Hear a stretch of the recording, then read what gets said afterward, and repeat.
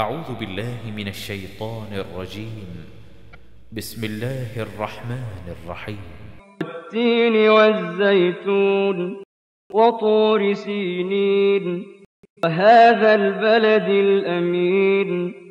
قد خلقنا الإنسان في أحسن تقويم ثم رددناه أسفل سافلين.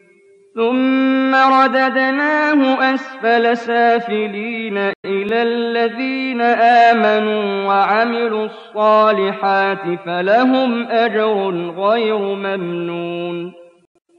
فما يكذبك بعد بالدين؟ أليس الله بأحكم الحاكمين.